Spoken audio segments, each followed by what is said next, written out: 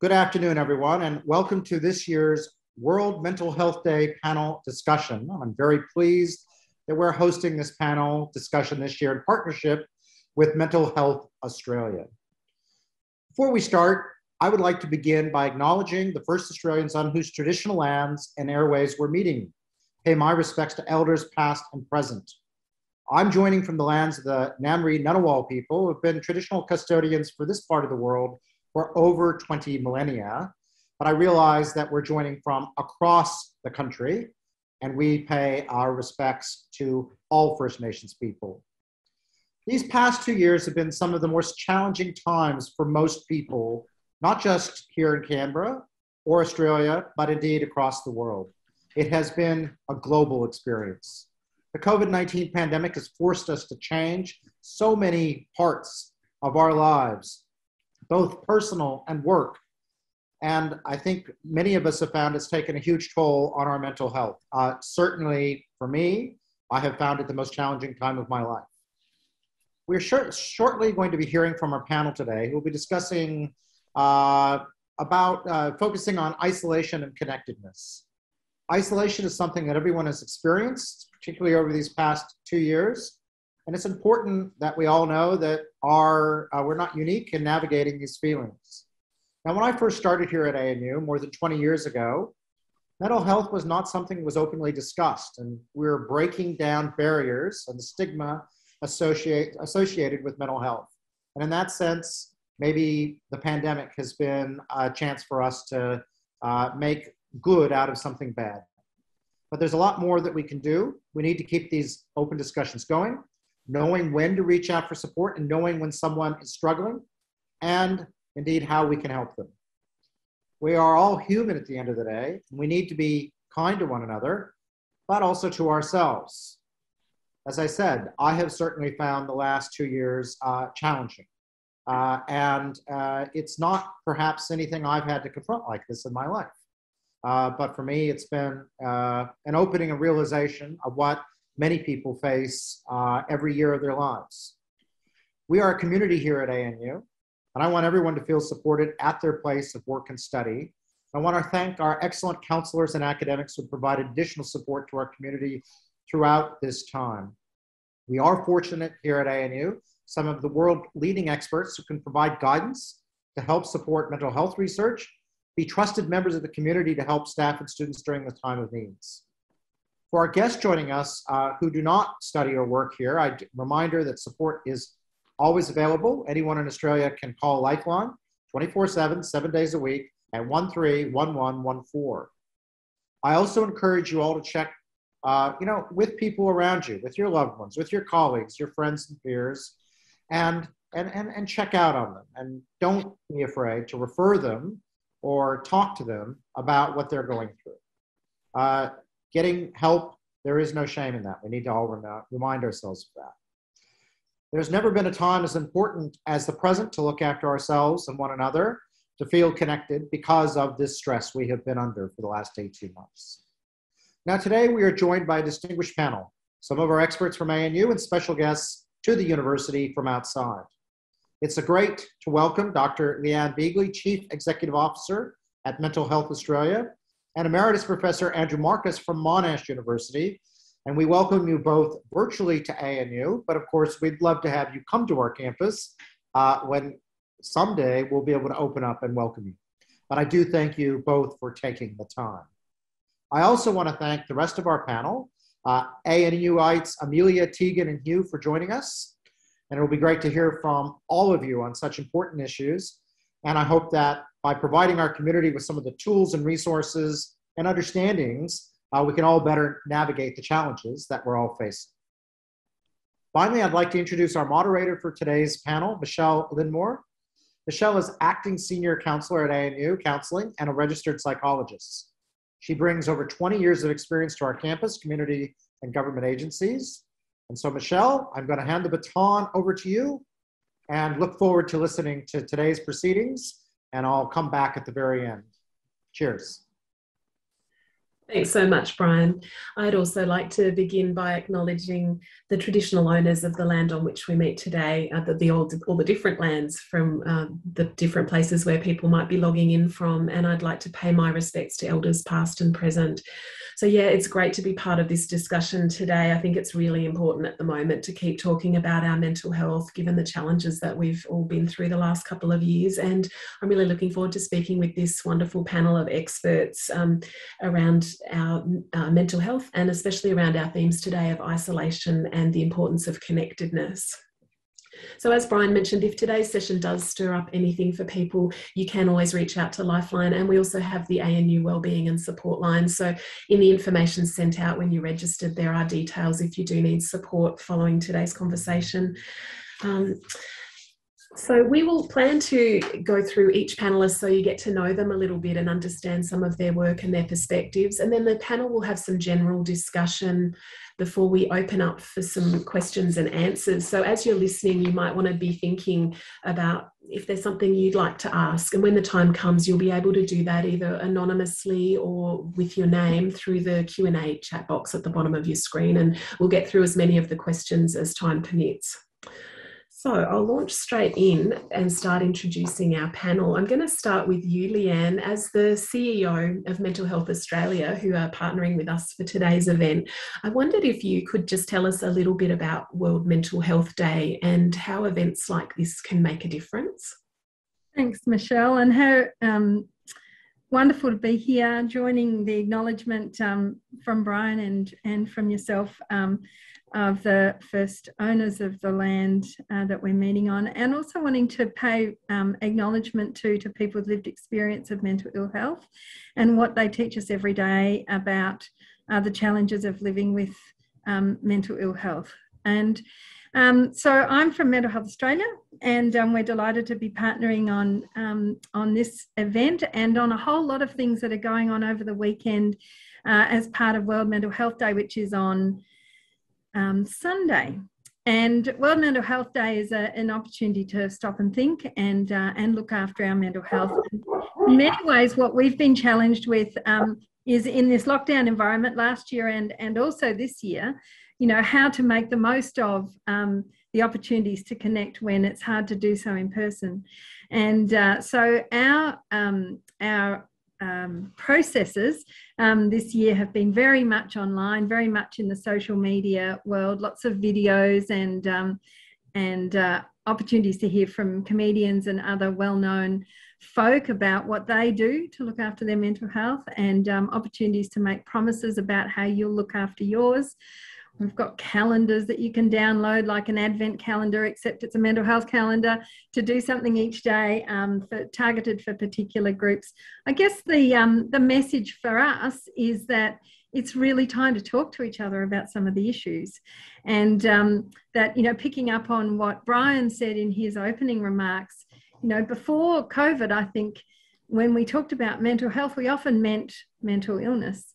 But these days, we mean all sorts of things and we understand better issues of loneliness and disconnection and isolation and um, and uh, fear for the future and anxiety about um, work and all of those things that seem to add an extra burden. So we hope that World Mental Health Day is an opportunity to um, to really stop and think and reflect and connect. So thank you for the opportunity to work with you and to be here.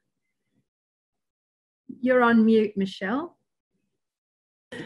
Thank you so much for uh, reminding me of that. Um, so, Mental Health Australia work towards better mental health for all Australians. And I just wondered, while we've got you, Leanne, whether you could say a little bit about some of the priority areas for change right now. Um, yep. So, thank you. Well, we um, we are an um, focus, we're a membership organisation, so lots of mental health um, organisations in Australia are part of our membership base and they inform us, you know, on a routine basis what some of the challenges are. And people might be aware that um, that the government, the federal government, committed to some real thinking about um, about mental health in Australia through the Productivity Commission, uh, who released a report some time ago, and the the Commonwealth government is looking to to um, lead a process for a national agreement between the, the federal government and state governments to, to really sew up the um, integration of care across the community for people with mental ill health and to work on uh, um, uh, making sure that where there are gaps that they um, are um, uh, that there are the right services and access to services that people need. And the more that we identify the problems and the more we talk about them, the more that we want to be able to access services actually and to make sure that they're there in, in everyone's community, not just uh, in the big cities or in the in you know in the urban areas. Um, and I guess so our priorities are to see that agreement um, come to fruition and to engage with the sector to ensure that it happens. We're also interested in seeing um, the development of, of innovation and uh, and the leadership of people who have lived experience of mental ill health because they often have the best ideas about how things could be improved. So we're looking for um, you know some innovation in future service delivery and and um, keen to see some uh, exciting developments related to government investment in areas like suicide prevention and, uh, and the advancement of um, people who have psychosocial disabilities living in the community and, um, and uh, support for them in all sorts of ways. So there's a range of priorities, and I could talk for the 90 minutes, which I won't. So um, I'll hand that back to you, but thank you for the opportunity to be here. Thanks so much, Leanne. I think you're right, but it is really good to keep those things on the agenda and to hear what the vision is uh, of how we can keep moving forward and, and do better in this area. Hugh, I'd like to um, help the audience get to know you next. As a social psychologist, a researcher, and an author, um, I'm interested in what you think some of the major challenges are at the moment in the area of mental health. Yeah, thanks very much, Michelle and good afternoon, everybody. Uh, I think an important uh, point to make right at the beginning of this conversation uh, is just to remind ourselves of the kind of species we belong to. Like many other species on planet Earth, we are members of a social species, uh, which means that we are hopeless in isolation, that we're actually born to connect.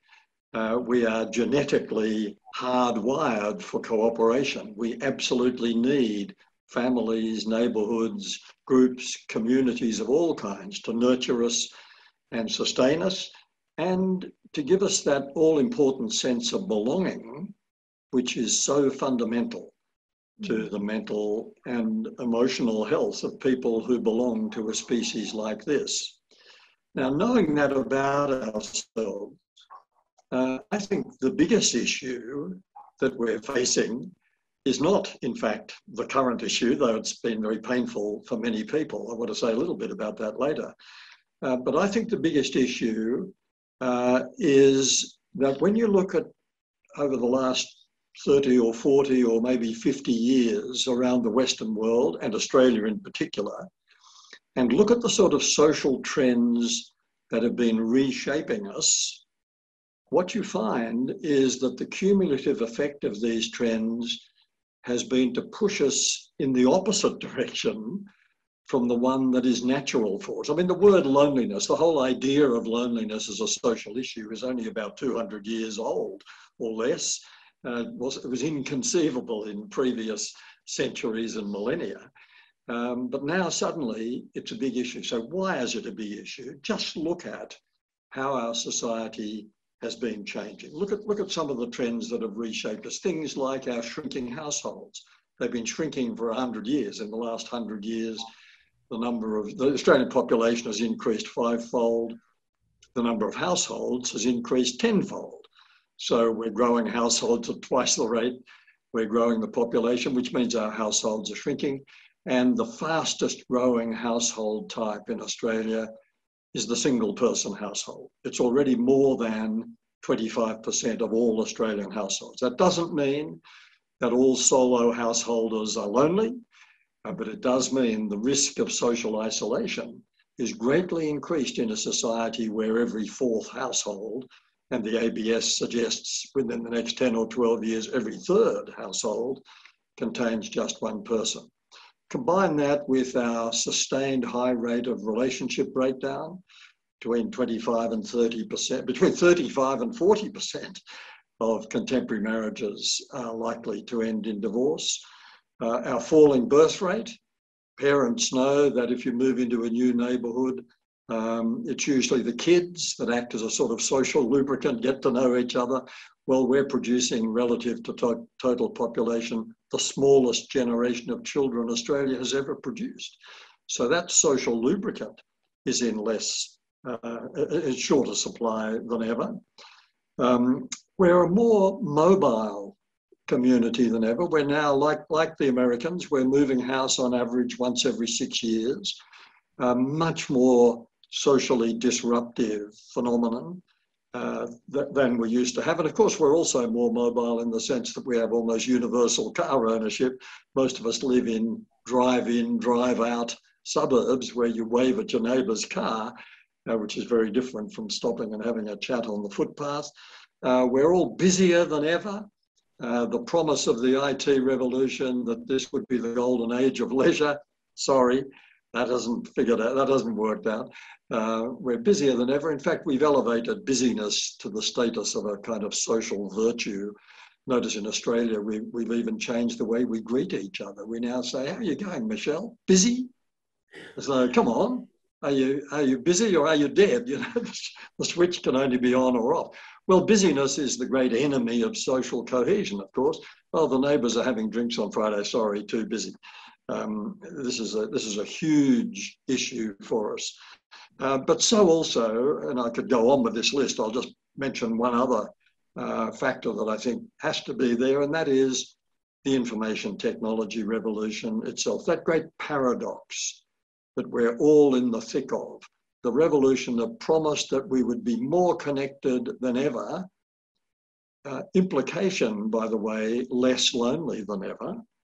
Uh, but the reality is that the social, that the information technology revolution has made us more connected than ever and has made it easier than ever for us to stay apart. I mean, it's brilliant on occasions like this where we can't get together and we are connected.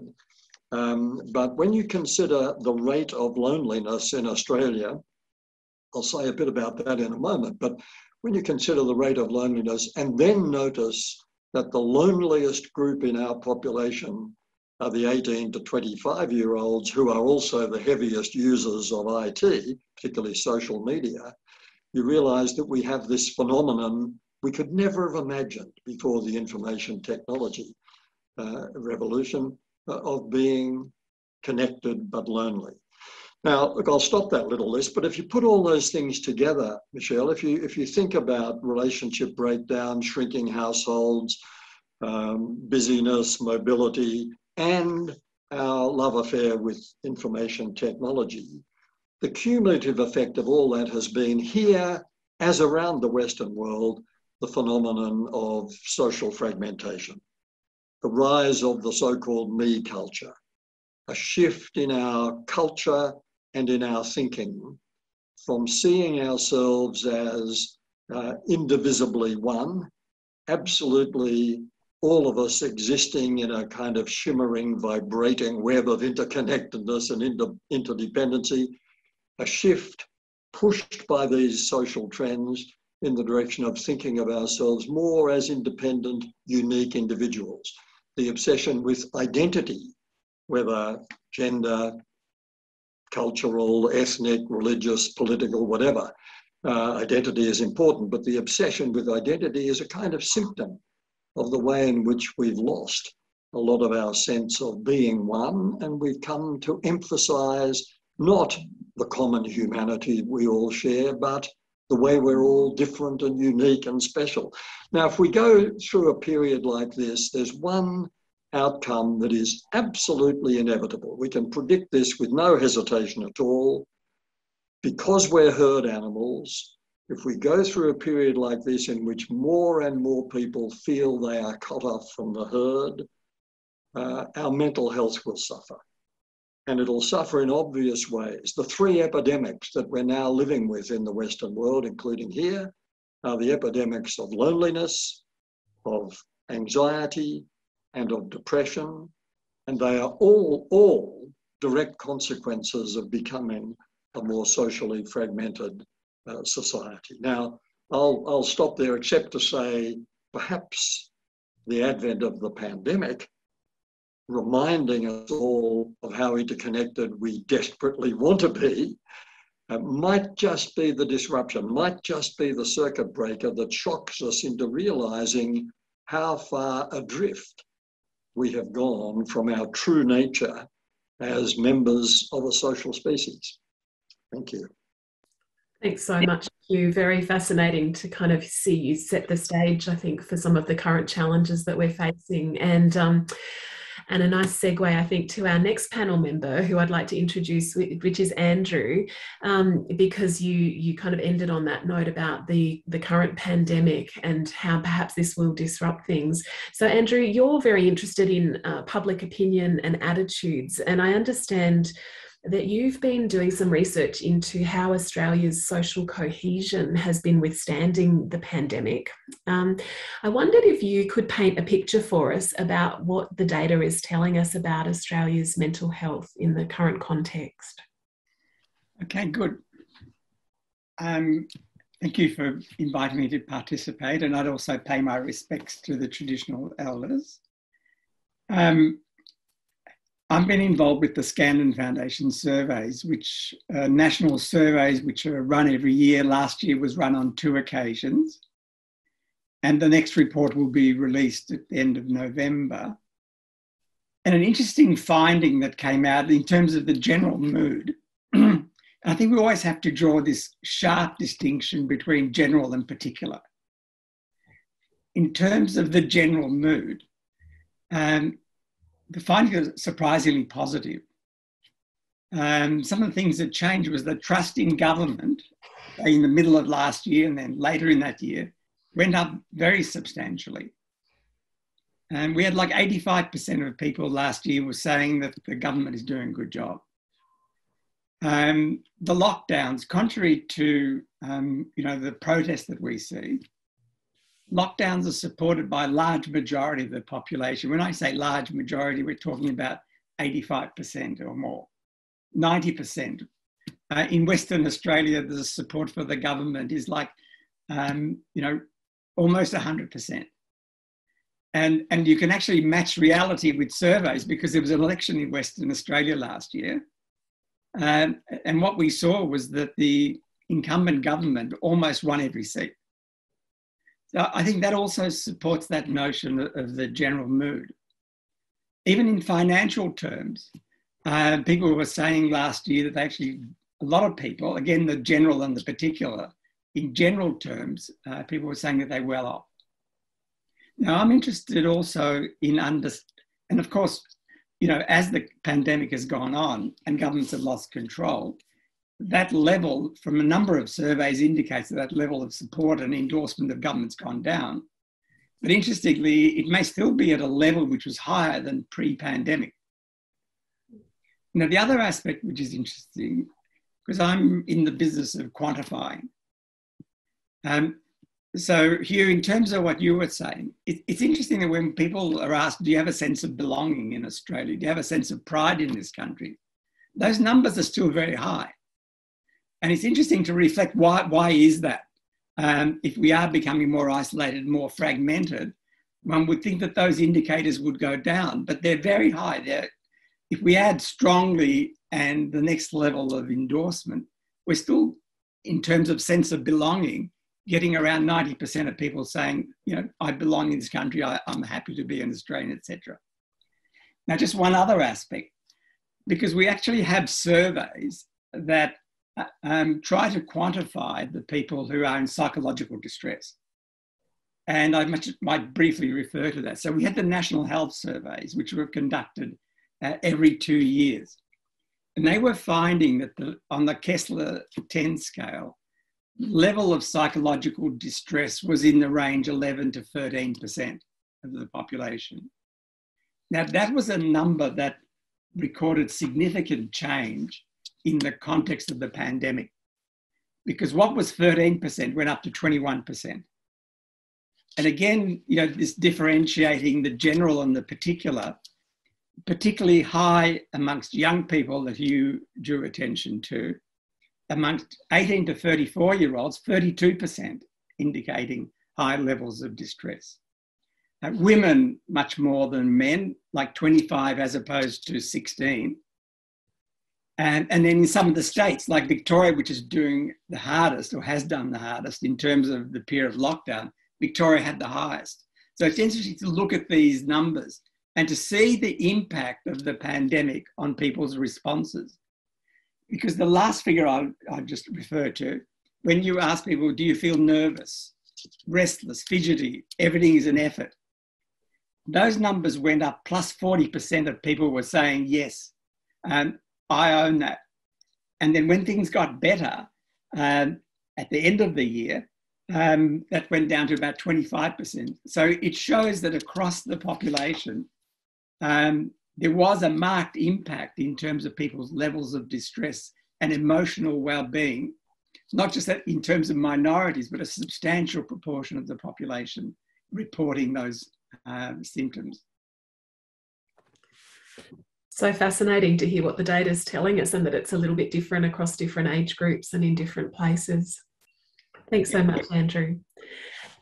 Amelia, I wanted to come to you next because you've also been researching impacts of the COVID lockdown and you've had a particular focus on people with lived experience of mental health conditions. And I think that's um, so fascinating to go from the big data perspective down to the more individual actual consumers of health services. Um, I wonder if you could tell us from your perspective how you think our mental health is holding up. Um, yeah, so I can tell you a little bit about um, some of the research that we've done. So we actually have done a broad scale um, study, but some of our work has been informed by people with lived experience. So I was really excited to hear from Leanne that that's obviously something that's really important. Um, so I'll just tell you a little bit about the study that we did. Um, so we were lucky to receive a seed funding grant by the College of Health and Medicine here at the ANU um, to do some work on people's experiences during the first lockdown in Australia last year. Um, so the overall study has been led by Dr. Amy Dawel and our team is multidisciplinary. We're made up of researchers from the Research School of Population Health and also the Research School of Psychology. Um, and I'm from the Centre for Mental Health Research. Um, so basically, we conducted uh, an eight wave longitudinal um, survey that was representative of around 1,200 people. We sent out fortnightly surveys between March and June last year, and then we did an eighth follow up survey um, a year later in March this year. And what's really interesting about this study is that because it's longitudinal, it's given us a really good insight into not only how people were feeling right at the beginning of the pandemic, we actually managed to capture people right at the beginning of those first lockdowns in Australia um, which were happening nationwide, but also how this might have changed over time. So that's been really interesting for us. Um, so I'll just sort of give you a, a, an update on some of the findings that we've had. We've done a lot of work into this and we've published a few papers already, but I'll just give you a few key ones that are relevant to today. Um, so our first paper was led by Dr. Amy Dawel and it basically showed that the disruptions that occurred to our social lives and our work lives, and also our financial situation, were the biggest factors impacting on people's mental health. Um, and we actually found that that was actually more important than any kind of contact with the virus itself. Dr. Sonia McCallum's written a paper that's really relevant to today. Um, this was on loneliness, and she found that people who experience more loneliness and less feelings of social connection or belongingness in their community had higher levels of psychological distress and reduced well-being as well. So we know that there's a really clear connection there between loneliness and this disruption to our social world and our mental health during these lockdowns. Another colleague of mine, um, Professor Phil Batterham, did a really interesting study that um, it was a longitudinal study, study that followed people over the course of the first seven fortnightly waves of the survey. And he found that people tended to follow sort of um, different patterns of experiencing symptoms of depression and anxiety. So most people, I think it was around 80%, um, were actually low on these two factors and they stayed low over the whole time whereas others sort of followed um, quite distinct trajectories. So, for example, some people who were sort of moderately um, anxious at the start of the first lockdown in Australia, and then this anxiety kind of decreased over time. Um, but I would say that in general, even for people who were distressed during this time, um, during the initial phases of the pandemic, this was actually fairly transient for most people. So that was really good news. Um, and I'll just sort of tell you finally so, this is a study that was most influenced by our lived experience work um, at the Lived Experience Research Unit at the Centre for Mental Health Research. Um, this was a study that I led on the use of psychological strategies. So, from a lived experience perspective, we were really interested to see if people who had sort of had any experience with psychological therapy prior to the lockdown using sort of psychological strategies or, or techniques, whether they were actually using them to cope during this time and whether they found them helpful um, during this time. And what was really interesting is we actually found that um, 100% of people who had any kind of previous exposure to psychotherapy with, with strategies had actually used them during lockdown, which we thought was a really positive finding um, that people are actually, when they're learning these techniques, they're actually taking them into their life and using them in the future, which is just amazing. Um, the most common strategies that people were used were um, things like physical activities. A lot of people are out and walking and things like that, but also things like breathing exercises and mindfulness. So there's more sort of cognitive um, techniques. Um, we also found that using um, the technique of mindfulness and perceiving it to be helpful was actually associated with lower levels of depression and anxiety symptoms um, at a later date as well, which was really interesting. And I guess um, the idea behind this study, sort of from my perspective, was that perhaps if we could sort of teach people um, some of these really basic skills um, in, oh, in um, how to manage uh, feelings of depression and anxiety, it might be useful in sort of helping keep people protected um, during times of collective stress, like things like the pandemic that we're that we find ourselves in today. Um, I guess I'll just emphasise again that this study only documented the first major lockdown in Australia. So obviously we've had a few different lockdowns since then. Um, I know there are other studies that are looking at sort of subsequent lockdowns in um, Melbourne and Sydney and also Canberra as well. There's obviously lots more work to um, do in this area, but I guess what I would say is that yes, people have been distressed during this time, but there are a lot of things that you can do about it. And um, people have been quite resourceful, which I think is really quite a positive finding and so encouraging coming from ANU counselling. It's lovely to hear that it makes a difference when people do come and speak with a psychologist or a social worker and gain those strategies. It's great to hear that people are using them, they're mm. finding those things are working and making a difference. Thanks so much, Amelia. Uh-huh. Tegan, you're our last panelist. Um, thanks for your patience. And um, you've been researching loneliness for quite some time. And of course, that was a big concern even before the pandemic hit. And I guess one that we're now even more aware of. Could you please tell us a little bit about how you think loneliness comes about and how it impacts mental health? Mm, big question, Michelle. And yeah, thanks for having me. Um, I think to kind of echo one of the points that Hugh made, I think it's really important that we emphasize just how strong this link is between social isolation, loneliness, the quality of our social connections, and health there's i've never seen a study that has not found that link. It is it is just so robust and we have known about it for decades. And when I, when I say it's a robust finding i mean that meta-analyses suggest that the risk of premature death is more closely linked to the quality of your social relationships than it is to how often you exercise whether you're a smoker your body weight. And yet I think it's a real travesty how little we're doing about that, really, as a, as a society. I think the disconnect between what the science is telling us about how important this is and our practical solutions that we have out there and, and what's going on in healthcare and, and, and I guess politics is a, is a real problem. Um, and I think so. My research career really is about solving that problem and trying to work out why we have that disconnect. Um, I think there are broadly three reasons that are contributing um, to why we're not seeing more action on loneliness and, and boosting social cohesion. I think the first one is political, and it's because if we acknowledge the contribution of things like poverty to health, then we have to do something about them. So, to the extent that we see social connection as, as crucial to well-being, then that asks big questions about what we as a community need to do about those who are being marginalised and excluded in our society. So, I think that is one of the barriers. I think the second barrier is conceptual. I think that health professionals often aren't trained in, in social relationships and social connection, and they also struggle to understand how it can be linked to health. And I think that's a, a question that researchers need to spend more time answering and answering well um, and rigorously is what is the actual mechanism through which things like living alone or being feeling disconnected from one's peers, how exactly does that place you at higher risk of things like depression? So, getting to the bottom of that question is something that I think is still a work in progress because doctors don't know how to do something about loneliness when they do see it in their practice.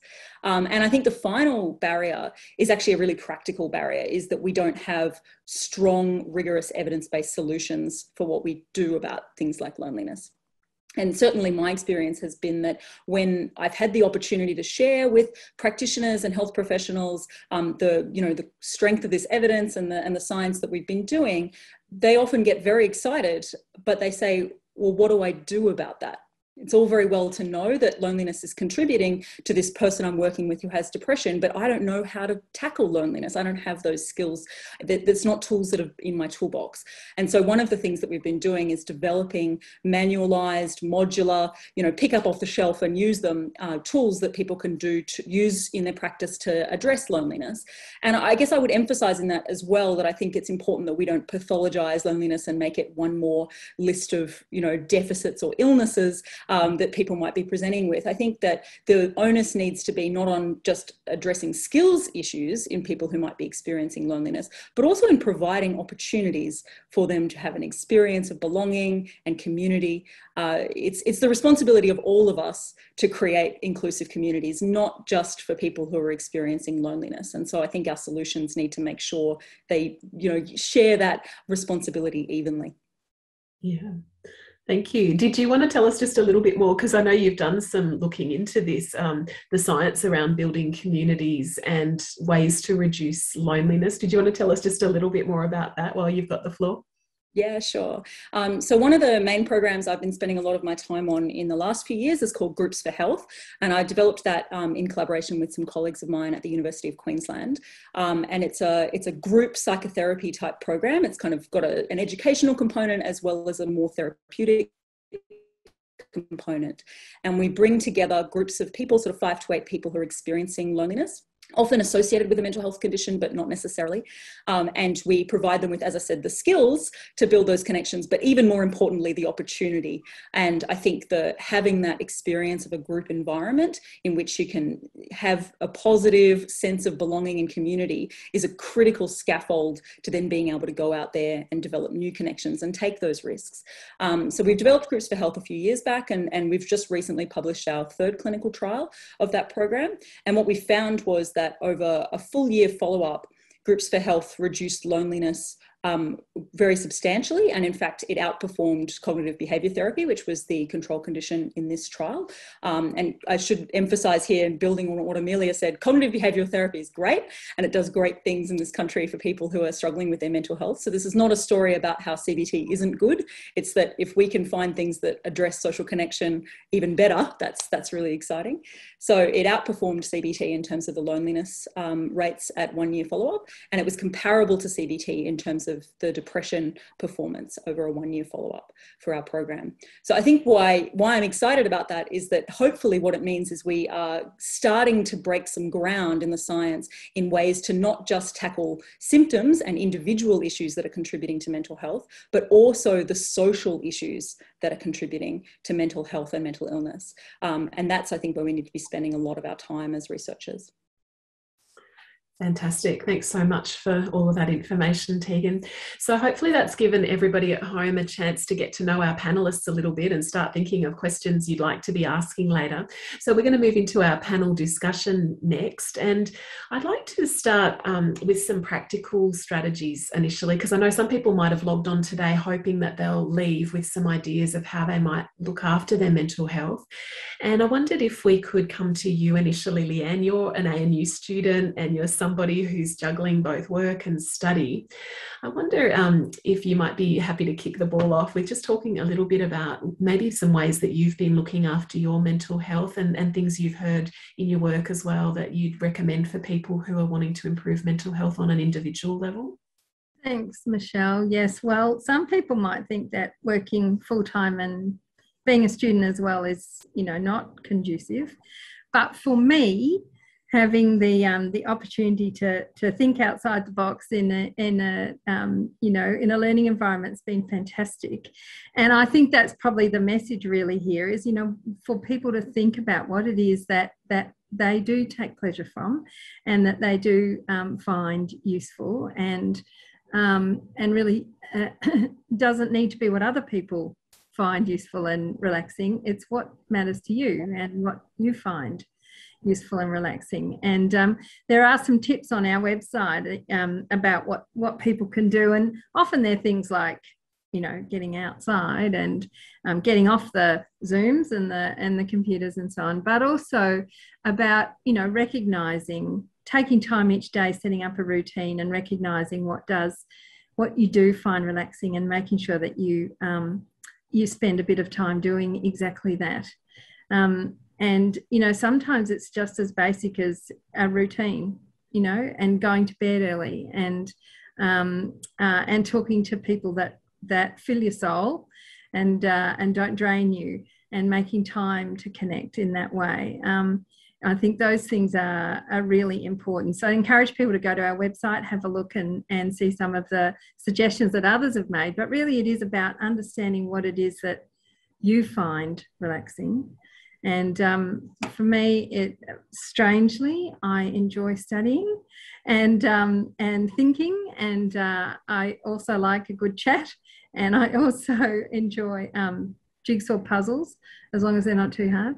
Um, so there's a range of things, of course, that um, that that we can all find helpful. Is was that what you were asking?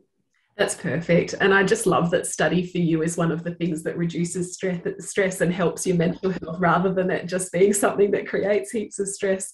Oh, except maybe on the deadlines for the essays. But other than that, yeah. Very relatable, but it is, it's a good way to make connections. And I think, especially during the pandemics, it's been a prime source of connection for people to be able to log on to their online tutorial or to uh, do a group project on the Zoom. Um, Amelia, I wonder if we could come to you on that topic as well, because you've got that experience with um, people with lived experience. If you could say a little bit more about some of the strategies that you think people can take away from today and, and maybe use for improving mental health on an individual level. Sure. Um, I guess uh, being someone with lived experience, I'll tell you a little bit about some of the things that I've actually used to manage my own mental health. Um, we know it's really important to sort of stay connected with people, particularly during these times of lockdown um, when you might be feeling quite isolated and lonely. Um, so some of the things that I've used to connect with people during this time is I've sort of made times to um, call my sister. So we sort of make a time to go for a walk together, and we'll both put our headphones on and we'll go for a walk. And it, we're both in different cities, but it's kind of like a virtual walk. Um, together. And so that's sort of been a really nice time to sort of catch up with each other and you know get some free exercise i guess while you're at it. Um, so i guess it's just nice that even though you can't really be with people you can kind of make these solutions out of things. Um, you know, to sort of give you that sense of social connection. Um, the other thing I've been doing, and this is another exercise, because I'm really into exercise, um, I, I, joined a yoga class. Um, so there's been some online Zoom yoga classes and things like that um, that have been offered. So there was a, a teacher in Sydney um, who, when she couldn't teach face to face, just set up some yoga classes on Zoom a few months ago. Um, I have to admit, I wasn't very good at yoga and I didn't even think I would like it, but I thought this is something to try. You know, there's lots of other people here, and it was just nice to be able to do something sort of with a group of people and feel kind of connected in that way. Um, just doing it at a set time sort of makes you feel like you know you're doing something with others. And she also said that it's been really great for her because it's kind of given her a sense of purpose during this time as well. So it's kind of nice that there's a, a two way benefit. Um, I guess the last thing I've been doing for my mental health uh, is sort of playing, this is kind of embarrassing, but a Dungeons and Dragons game online. So, sort of getting together with a group of friends and just sort of chatting um, and playing a game online. I've also tried joining other things like joining online trivia groups. Sometimes there's some live trivia, you know, via Facebook or something like that. And that can feel really nice, like you're part of something and you can interact and you can send in messages and things like that. Um, also, if you sort of don't have anyone to talk to, sometimes even listening to podcasts can be really helpful. Um, and it sounds really silly, but sometimes when you're listening to these over a period of time, you start to feel like you get to know the hosts a little bit. And I know that sounds really silly, but um, it can actually feel almost like a social experience, I think, as well. So even trying things like that, um, I think, can also be helpful sometimes. Um, I guess just that sense of connecting with people is just so critical for our mental health at this time. So even if we have to use some of these solutions in the meantime virtually, um, I think that's an okay substitute for a while. Mm-hmm. Thanks. Yeah, it gets me thinking of my family giggling together watching Gogglebox, and we definitely feel like we know those families on the TV as they react to what they're watching on TV. Um, I wondered, Hugh, if you might have some things to add, um, especially around what we can do if we're feeling lonely. Hmm. Yeah, a couple of points. Thanks very much, Michelle. I'd like to start just by emphasising something that Tegan said, uh, looking at the total health perspective of this. Uh, we talk so much about diet and exercise, uh, and I think we have to keep reminding ourselves that it's a three-pronged thing. Uh, the, re the recipe for good health and, and well-being, particularly into older age. Diet, yes. Exercise, yes. And social connectedness, yes, yes, yes. Uh, so we are we are talking about not just something that'd be nice to have, but as Tegan said, we're talking about something which, if it's taken away, can actually redu reduce the prospect of longevity as associated with uh, hypertension, inflammation, sleep disturbance, vulnerability to addiction, all sorts of, quite apart from loneliness, anxiety, and um, and depression that, that flow from this. So it is, I, I think of this as a huge responsibility we have towards each other. Um, the, the, the extent of the responsibility, I think, uh, just to introduce another figure in addition to those that Andrew mentioned, the Australian Psychological Society in association with uh, Swinburne, uh, just a couple of years ago, pre-pandemic, uh, discovered that 25% of Australian adults report feeling lonely for most of every week. So what that means is when we're moving through our neighbourhood, our communities, our workplaces, and so on, the probability is that about one in four of the people we encounter are going to be suffering from loneliness, which is a form of a form of illness. So, what can we do? Um, well, three things. Um, Tegan mentioned the difficulty for people like GPs and social workers to know what to do about this. But there is this emerging phenomenon, which I hope is going to catch on in Australia. It started in a, in a city called Frome in Somerset in the UK, but the phenomenon of social prescribing, where a GP will actually write on a prescription pad, not a drug that you should take, but join a choir, uh, ask the neighbours in for a drink, uh, get hooked up with a community garden, go to a, join a book club. Uh, in other words, prescribing to a person who's suffering from the illness we call loneliness ways of strengthening their social connections so loneliness is likely to diminish. I think that's something we can do. Another thing I think we, we all need to be extremely alert, and I think, I hope the pandemic has heightened our alertness to this, but we all need to be extremely alert to the people who are vulnerable, the people who are at risk of loneliness in our street, in our apartment block, in our local neighbourhood, uh, in our extended family. Look out for people who may be a bit vulnerable uh, and reach out to them especially. Uh, if you're feeling reasonably robust and connected, well, you're beautifully equipped to reach out to someone who isn't and, and I would respectfully differ slightly from something Leanne said when she talked about avoiding people who drain you. The people who drain you might desperately need your support uh, and your encouragement and your listening ear. You might have to go off and recover after you've spent time with them, but it's one of the things we do for each other.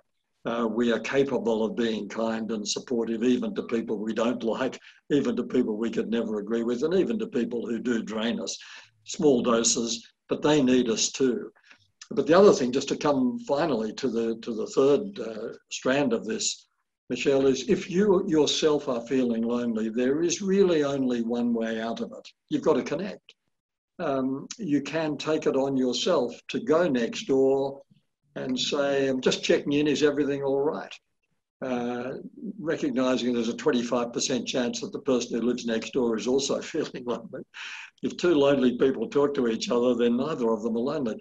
Um, but I, I, think it's, it's hard, of course, because loneliness becomes a very self absorbed state, uh, as depression does, as anxiety does. Those three epidemics all have the effect of discouraging us from reaching out. But, but often the solution is in our own hands to make a connection, to look out for someone in our street who we think might be uh, uh, at, at, risk of social isolation. Go and knock on the door when you're allowed to, uh, or take them a basket of lemons from your tree or something.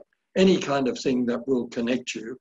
But, but do it more formally as well. Find a local book club, find a local choir, or a current affairs discussion group, join U3A or some, some other thing that will connect you in spite of your hesitation, in spite of your resistance. Thanks, Hugh.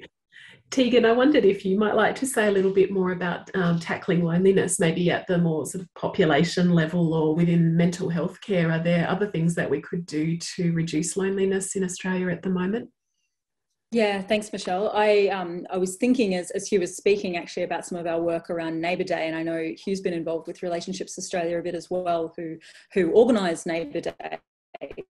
Um, so I spoke before about groups for health, and while I'm excited about what the program offers, at some level, it's still a small group program for people who are already experiencing issues. Yeah. And what we need is whole of population change. We need things that are going on at the public health level and in our whole community that are going to make the difference to what is going on at the moment in terms of loneliness and mental ill health and that's where Neighbour Day comes in. So it's a it's a grassroots community led campaign, um, which encourages people to reach out in their local communities to build social connection, to combat loneliness, to to form new connections and a sense of community in the area that you live. Um, although Relationships Australia um, are kind of a supporting organisation around that, they don't actually run the events. They empower local community members to run the events. They provide resources to make it easier if you want to run a community barbecue, for instance, around Neighbour Day. So people do things like they set up a, a WhatsApp group for their street, or they or they run a, a little craft stall, or or they organise a you know a play for the kids in the park. So these are all very informal type activities that are designed to bring people together. And I think one of the reasons why this is exciting as a model for how we could be boosting social cohesion in our communities as a whole is that we know it's already got great so, um, pre-pandemic in 2019, Relationships Australia estimated that over 300,000 people were involved in Neighbour Day, and so we, we know it's already reaching way more people than any you know new clinical method is going to be able to reach. So, what we did in 2019 is we evaluated what effect being involved in Neighbour Day had on people's loneliness, their sense of connection with their neighbourhood, um, and their well-being and we had um, four over 400 participants and they came from right around australia. So 344 different suburbs were represented in that sample including some of the most disadvantaged communities in our country as well as some of the more advantaged ones. And what we found was that from before neighbour day to one month after people experienced a significant increase in their sense of identification with their neighbourhood so that sense of community. Um, and that predicted reduced loneliness improved social cohesion, and up to six months later, improved well-being. So just that one-off event led to this sustained improvement in that sense of belonging that had those flow-on effects. Um, so I think that's really exciting as a model for what we can be doing, not just not just in small groups, but as a whole nation to do something about this loneliness issue inspiring isn't it to get thinking about what can we do on all these different levels to improve the state of affairs? Um, i wanted to come to you andrew uh, because you've been looking into some of the things that australia's been doing well in, during the pandemic in particular um, in terms of holding on to our optimism holding on to social cohesion where we have. Uh, do you have some ideas about things we could be doing better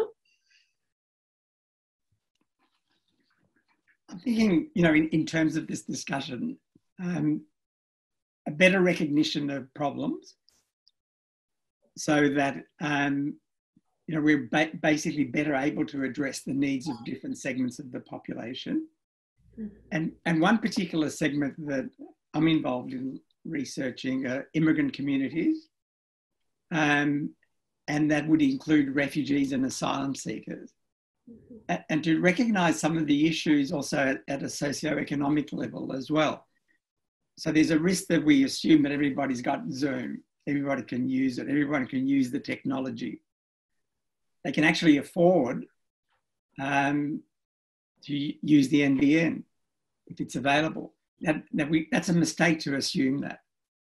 Um, and I think we also need to recognize that people who've come from a traumatized background and um, thinking in terms of refugees, asylum seekers, and, and others as well, because trauma obviously is not restricted in, in any way.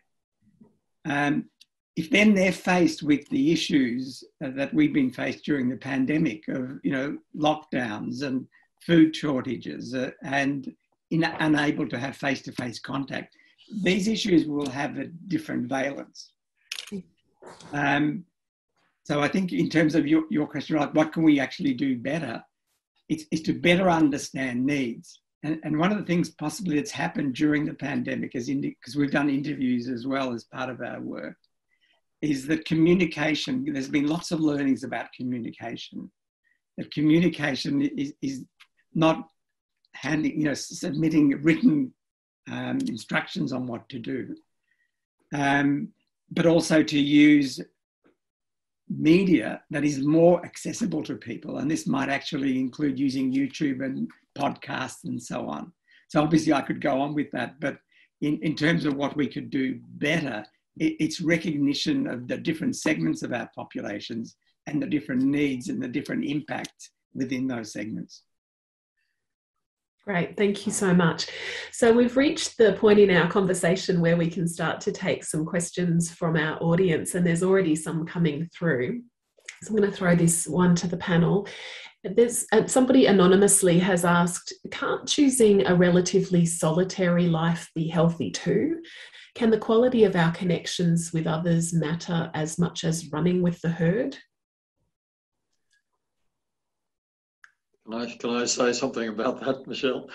Uh, look, I think it's a really nice point. And one of the things I'd say about being a member of a social species is that we all desperately need solitude. um, having, I mean, I think we have a biological obligation uh, to nurture the species, to nurture the communities that the species will thrive on. And that biological responsibility turns into a moral obligation. I think we have that moral obligation, even if we're disinclined, even if we're introspective, uh, even if we're introverted, which I would certainly describe myself as being. We have to get over that. Uh, sometimes we have to play our part in engagement. However, uh, for some of us more than others, the process of engaging, the process of being a good listener, the process of being a good neighbor, uh, the process of hearing someone who needed to talk to you even though you disagreed with everything they were saying. This is very demanding. It is a tough gig being a human. So I think every day we need to take time out. For some people, it's several hours a day. For some people, it's half an hour a day. Uh, but some of the things that Amelia was talking about earlier too, some just just things we can do that look like self-indulgence. We're just doing this time out, you know, a bit of meditation, singing, reading, walking, whatever. It's not self-indulgent at all. It's the necessary replenishment of our resources to get back into the fray to be a fully flourishing human, which means a person who's engaged. Absolutely. Someone else on the chat has said, My observation during lockdown is that extroverted people have a much harder time dealing with loneliness than introverted people. Have there been any studies looking at the different ways that introverted and extroverted people cope with being stuck in lockdown? Tegan? I can take that if you like, Michelle. Um, others might want to add to my thoughts, but I think this does build a bit on the question that that Hugh was just answering. I think that um, loneliness is a subjective concept, and so no one should be listening to us talk today and thinking, "Oh, maybe I am lonely and I didn't know it." No, no. If you if you feel like your social needs are being met, then then you are by definition correct. There's no uh, official amount of social connection that you sort of have to be getting for your health. It's all about quality rather than quantity. And so if people feel like their needs are getting met, then that's great, uh, and they're not in that in that category that we're talking about where we have this issue in Australia and these concerns. Um, so I'd reassure people that you know it's it's okay to be seeing people less often and feeling good about it. That's that's totally fine. Um, in terms of extroverts and introverts having different preferences for the way they socially interact, I think that's definitely true. Um, introverts probably don't like to get their social connection in, in large parties, whereas extroverts might enjoy that more stimulating and and kind of crowded and, and energetic, noisy um, social environment. But that doesn't mean that we don't all have social needs. Like I think that's something that is across every personality type and, and is really, as Hugh says, parts of part of the human condition. It's more about how you might have different preferences for meeting those needs. There's another request here for some advice from the panel and it's around the concept of being in a room full of people but still feeling incredibly lonely. And this person says that they often, due to a lack of con- genuine connection, um, that that can happen, and they don't feel it. it is as simple as just connecting with anybody. Anyone got thoughts on that? could I throw something in? I'm sure others will have other things to say, especially Leanne. Sorry, Leanne, I started talking. Um, no, I, look, I think um, another another crucial point. It's it's very important that we understand that loneliness is not directly correlated one to one with social isolation. There are people who are socially isolated and don't feel lonely um, writers, poets, plenty of people love being on their own for vast tracts of time and don't feel lonely, uh, even though they may be socially isolated. And conversely, as this questioner has rather poignantly put it, it's possible to be in a crowded room and feel lonely. Lonely is the sense that I don't belong here or that I'm not connected with the people who are here, even if I'm surrounded by them. Uh, so I think it's important for us to acknowledge that. Uh, it's a real problem. People can live in a large family even and feel like the odd one out and not and feel lonely with their own uh, kith and kin. Um, it, it's a widespread human phenomenon. Uh, so we, we have to acknowledge this again to be very sensitive, to be very attentive to the people in our midst who might the, the expression on their face will usually tell us this is a person who's not engaged, not feeling included. I mean, let, let, let's let's in passing acknowledge that the what I think the deepest of all the social needs that humans have is the need to be taken seriously. And that means to be heard, to be acknowledged, to be included, to be noticed, to be understood, all those things. Uh, and if people, even if they are in a crowded room, feel as though no one's listening, no one's taking them seriously, no one knows what they're going through, etc., of course they'll feel lonely uh, and frustrated. And that will often bring out the worst in us, all the way up to feeling angry, violent, etc. Um, so, again, what a responsibility we bear, those of us who don't feel like that, to be really alert to the needs of someone whose face is saying to us, I'm here in this crowded room and I'm not part of this. Mm. Thank you. Leanne, did you want to add anything on that one or shall I go to the next question? Well, I know I thought that was um, awesome. Thanks you. And that, actually, what I was going to say was that you can be a, a solitary person and not feel lonely.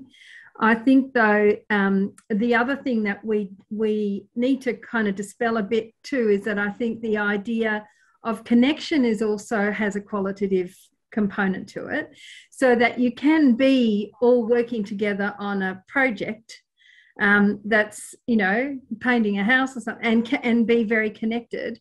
It isn't about sitting around talking about your deepest, darkest um, feelings as well that uh, you know that that that connection can be about being with people and belonging in a group doing stuff um, it doesn't have to be about something that's um, you know processing the connection together as you're talking so i you know I think people sometimes set a standard about uh, in their own minds about what connection might be, and sometimes it's it's cooking something together, or it's you know um, sitting together and talking about uh, you know going to the zoo, doing something like that. It doesn't have to be about um, uh, sharing.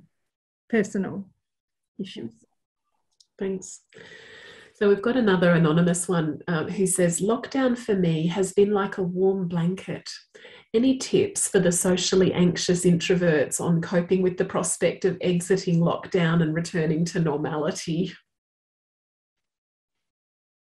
Um, I'll answer this one because I feel exactly the same way. So I guess I would just say um, you're not alone there are quite a lot of people for whom um, the experience of being in lockdown hasn't been fully negative, that they've actually found um, some more time to do things um, that they wouldn't normally get the time to do, um, sort of experience, uh, you, you, know, like life without all the stresses of having to interact with people or, or go to work and all that sort of stuff.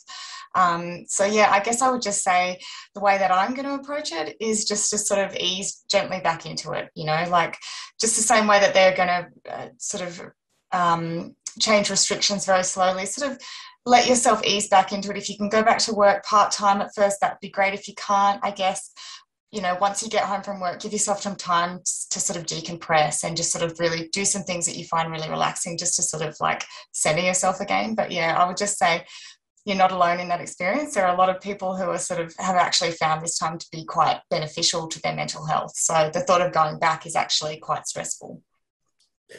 Thanks, Amelia. It's interesting. We have another person who's um, written in on a very similar thread saying, uh, Do you have any advice for people who have found working from home a salve and dread returning to a busy open plan work environment?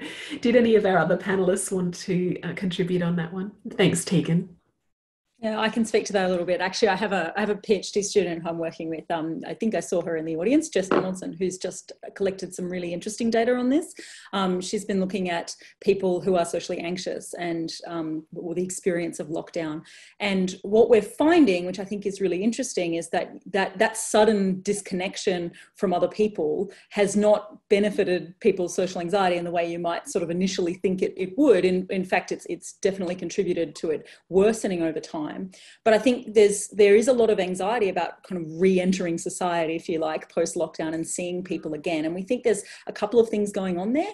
Um, one is that for for people who do find social interactions a bit anxiety provoking, and let's be honest, we all fall on a spectrum there. Everyone finds it a little bit nerve wracking at times. Um, doing it repeatedly, having that constant exposure to social interaction, is is a kind of therapy. It's it's a it's an exposure in itself that helps keep our anxiety under control, helps us us to habituate to this as actually not so dangerous and it's not going to be as bad as I fear it might be. Whereas if we are, through no fault of our own, unable to have those social interactions, then we're not getting that feedback that it's not as scary as we think it might be. We also have more time to anticipate how scary it will be when we do go back to the office and kind of think about all of the ways in which it might go wrong. So, what that leads to is, is this kind of spike in, in anxiety, if you like, just before we have to spend a lot more time with people. It doesn't necessarily mean that any of those fears are going to play out in reality. And in fact, what most of us will find is as we are having those social interactions again, they are much more enjoyable than we feared they would be, and the worst does not happen. So, I guess I'd just sort of normalize that experience and say, as, as Amelia suggested, if we do it gradually, we probably find that it's actually got many pros, not just cons. Lovely. Hugh. Can I just add something to that, Michelle? Um, just very, very briefly. I agree, obviously, with what Tegan was just saying. Um, but I do think one of the one of the lovely prospects, one of the silver linings of the pandemic, is the prospect that we will take a much more flexible approach to working from home and going to the office. Uh, already we're seeing around the world uh, lots of large organizations reducing their office space because they're not going to have everyone present at the same time.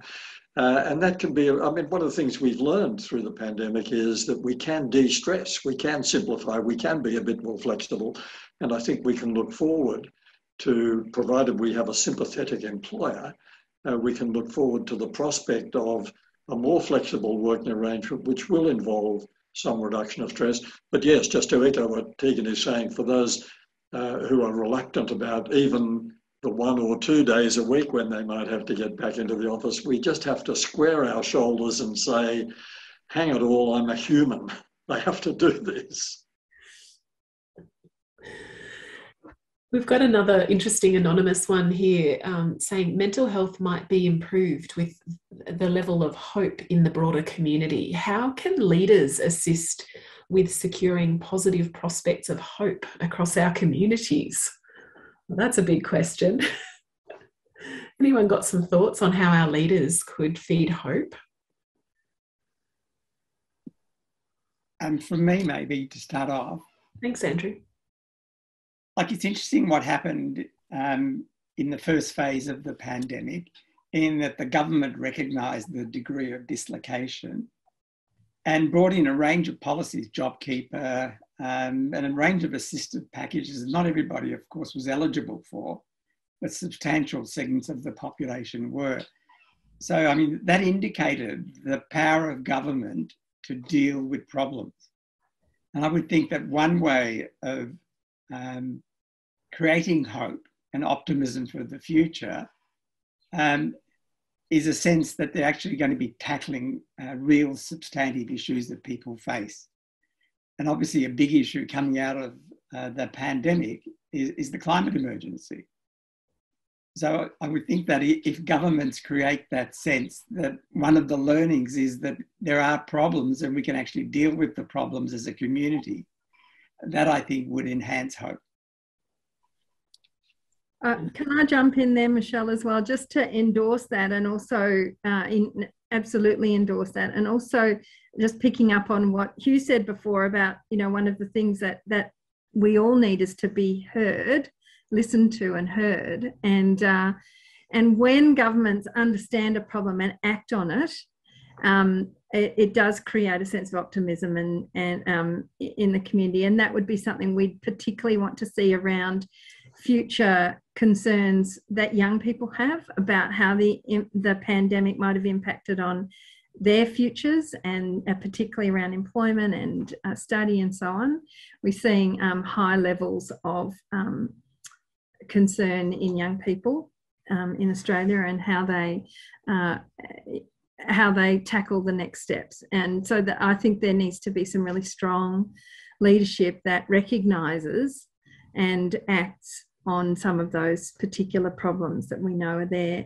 You know, Tegan spoke about how frustrating it is that there's this strong link between loneliness and social connection, and yet we don't do stuff about that maybe there's a climate component to that too. You know, we know there's a problem, need to do stuff, and um, uh, and one of the really important um, things is putting in place responses. So, for example, Mental Health Australia has been advocating for a year in collaboration with the Royal College of GPs and um, and the Consumer Health Forum that we have a, a, national rollout of that social prescribing program that Hugh talked about before, which has been developed, researched, and evaluated in the UK, and is a really useful program for um, drawing people together. So you know we need to see some action actually rather than talking.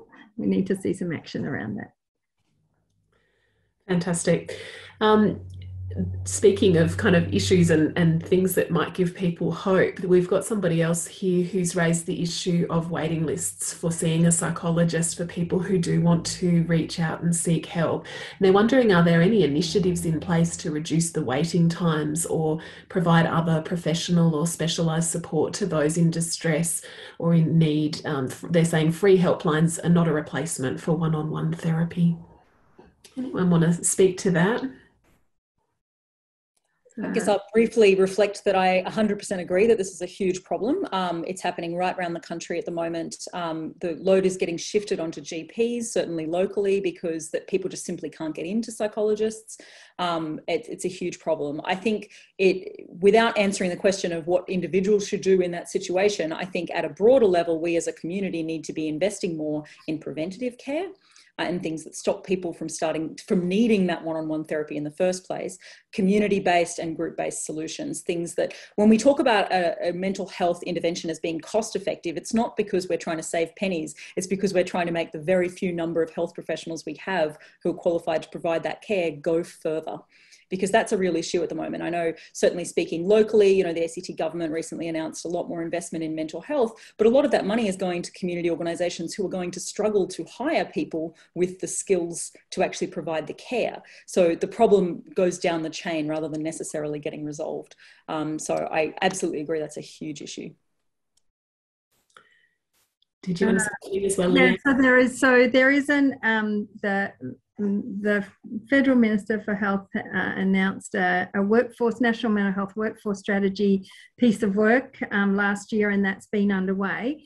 Just recognizing that there is, uh, you know, there's a huge issue around health workforce generally and mental health workforce in particular, and in some particular areas like rural and remote communities and so on. One of the things that has helped is the access via telehealth and telemedicine um, that came as a result of the pandemic. But there, this is a really big issue that we will need to grapple with um, as a community because there and and understand that there are um, a range of people who could probably provide care who are not the ones that we're always used to going to. So there are, you know, people with lived experience have an enormous um, opportunity to walk alongside people who are struggling. And there are also um, uh, people who we don't think of as part of the part of the mental health workforce, if you like, but who do amazing things like teachers and uh, uh, you know uh, sporting clubs and so on, who where where people connect and have a chance to sit alongside and get support. So, but the the professional workforce is a really big concern, and um, and the waiting times is um, a huge problem. Absolutely acknowledged. Yeah. Can I just say something quickly as well, Michelle?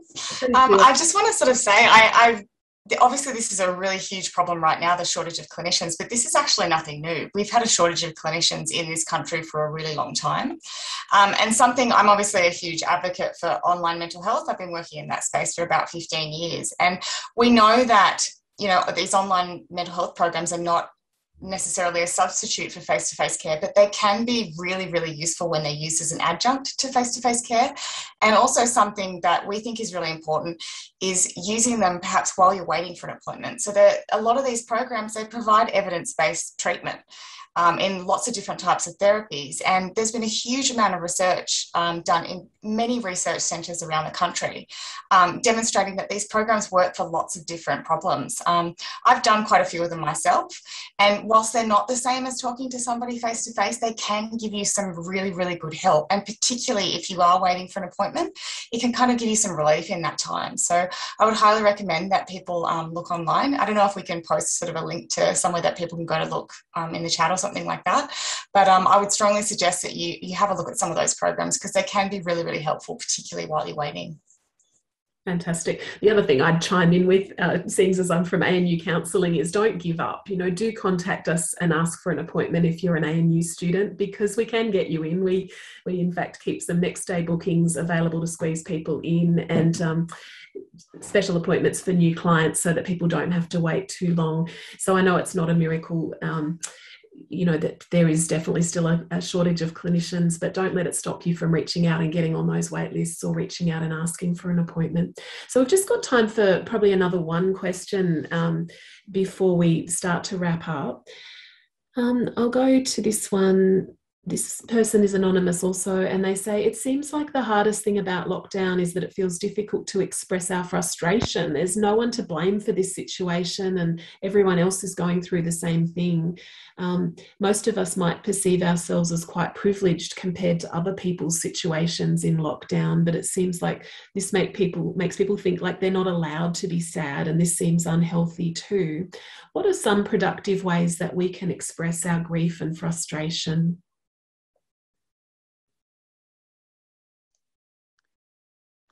Can I just say a couple of quick things, uh, Michelle? I think others will have more profound things to say about this, but pick up the phone. I mean, let's not forget that there is a phone and that, in fact, uh, the intimacy of a phone call is far greater than the intimacy of a Zoom connection. Even though you can't see a face, you get much more from uh, the int intimacy of a phone call. So I think that's important. Another little observation I'd make, it's almost a side issue in a way, but this word lockdown I think it is extremely unfortunate. Same as the term social distancing. I mean, I notice a lot of people are moving to physical distancing, which is a much better term to use. But lockdown, I mean, lockdown, that's what they do in a prison. if they're going to lock everyone in their cells. Now, that hasn't happened anywhere. We're not in lockdown. We're being asked to stay at home, except we can go out for two hours a day and exercise, and we can go to the doctor, we can go to the supermarket. If you live alone, you can have a bubble with someone else who lives alone, you can visit. I mean, this is, I, I think we have actually contributed. Uh, I'm not saying this is a huge factor, but I think a contributing factor to people's mental and emotional difficulties during the pandemic has been the very word lockdown. I'd like to ban it. I'm really conscious that we're coming towards the end of our time, and, and I wanted to make space for us to just go briefly round the panel one more time and give everybody just 30 seconds or so uh, to say one thing that you particularly hope that people might take away from today's discussion. Who'd like to go first? Andrew, thanks. So just very quickly, um, reflecting on what we've been through and asking the right questions and coming up with the right answers is, is the trick, I think. And there was a lot of work done post global financial crisis. So we're talking, say, 2010, 2011, level of government in thinking through what people went through. And on reflection, then people said, you know, the economic indicators actually came back reasonably quickly in many countries. What we failed to understand was the emotional impact of what people had been through, not so much in Australia, but in many countries. And because we didn't recognize that emotional aspect, we actually didn't necessarily deal with the problems at the level that they needed to be dealt with. So there's been, on some people, many people, huge emotional toll. And part of the process of coming through that and moving through to um, better societies that we would want is recognizing the impact that's had on different segments of the population, including the care providers, you know, who've been working 24 7 for a very long time. So it's that recognition that I want to draw attention to. Thanks, Andrew. Can I go next to you, Leanne, just for a 30 second? Yeah, sure, I'll, um, I'll be quick. You know, I'd, I guess I'd really like to circle back to the fact that we have World Mental Health Day on Sunday, that we have some some lovely encouraging messages on our website and videos from people and um, who are really giving some um, you know uh, some really helpful ideas about how you can look after your mental health. And um, and also that just to underline how important keeping connected is even if it's hard um, and even if it even if there are barriers that keeping connected is is an important just underlying what what hugh said really is such an important part of just being a person. And um, really encourage people to keep connected. Thanks michelle. Thanks leanne. Amelia can we come to you Sure.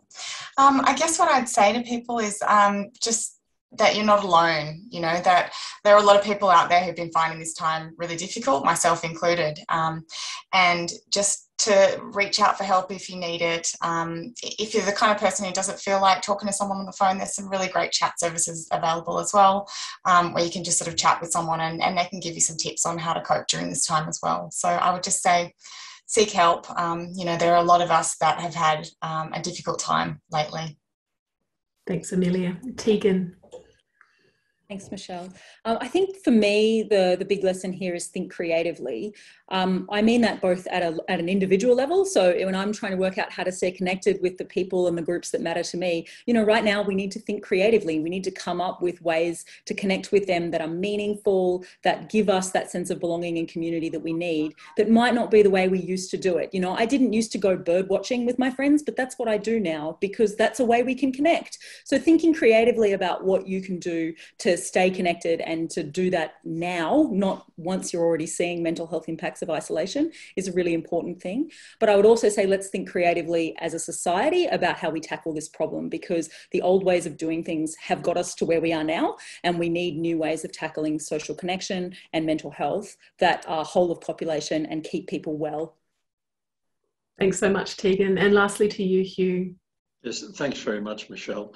Uh, what I'd say is never waste a crisis. um, and by that I mean uh, the pandemic, like bushfires, floods, heart attacks, um, depressions, all sorts of crises that we face, do tend to bring out the best in, best in us in that they remind us of our essential human nature. Uh, and I think the pandemic has been true to the crisis pattern. It's reminded us of the importance of connecting with the people who are at risk of social isolation. It's reminded us of our natural disposition to be kind to each other, even people we don't like, etc. Uh, so what I'm hoping is that we will turn the crisis into a revolution and start acting post-pandemic as we've learned uh, we have a hunger for during the pandemic and to maintain this way of living. Thanks so much to all of you. It's been keep bird watching, Tegan. keep bird watching. It's been such a rich conversation, and I want to thank you all because it's been really inspiring. And I hope it's left everybody with some wonderful ideas about how to go forward from here. If anybody would like just a tiny bit more in terms of tips for looking after your mental health, there's some links in the chat to some videos that our partner Mental Health Australia has put together. You can see a little bit more from me and from Leanne about how we look after our mental health. And um, I'd like to now invite our Vice Chancellor back, Professor Brian Schmidt, to wrap up today's event. Thanks. Uh, well, thank you. And I certainly have found that a really uh, interesting uh, set of conversations. And I think we've gone from just the really foundational understanding of how we as humans work to some of the evidence that's underpinning uh, interventions that we can make and some hopefully useful tips uh, that each of us can use in uh, dealing with our own issues or helping others deal with theirs. And I am still doing my best to try to instill hope in the ANU community. I wish I could print uh, money like the federal government could. It would make life a little easier, but uh, there are many reasons to be hopeful. Uh, and uh, I think, as Hugh said, uh, vice chancellors need to make sure we don't waste crises, although I will say I prefer not to have any crises uh, to waste. But from my perspective, it's a chance to think about how to look at social cohesion and how can we take the opportunity to use this world-leading expertise that we have here at ANU and beyond uh, and try to put that practice into our community. And certainly one of the things we have a strategy for is actually a social cohesion strategy that it'll be nice when we can coalesce back on our campus uh, in the uh, months ahead to try out. Uh, Amelia, uh, finding out that you play Dungeons and Dragons, uh, can I suggest a bunch of physicists for you because they love to hang out with you. Okay. And Michelle, it's good to see that you were demonstrating that uh, there's nothing better than a pet to provide companionship, if nothing else. And Tegan and I have been uh, going out bird watching with people for my entire life, and it is really therapeutic. Uh, so I'm glad to see you've joined. Uh, Andrew and Leanne, thank you for joining us virtually from afar. And again, we welcome you to our campus uh, in the future. And Michelle, thank you for uh, being a great host today. Uh, and also thank you for your efforts at ANU Counseling, a really um, important but challenging job. Uh, and uh, we really appreciate the efforts of you and your team uh, and everyone's expertise here to help uh, us uh, have great, fulfilling, and healthy lives. And so the university will continue to uh, learn from our own experts and try to implement what we what we know um, ourselves and make sure that we're a place of best practice. So thank you all. Wish everyone the best of luck. enjoy the weekend. And you will see that I have just given everyone at ANU at least an extra holiday because I think we all do need one more day off uh, sometime. That'll be the 1st of November. So look forward to uh, enjoying that day off myself. Thank you once again. Cheers.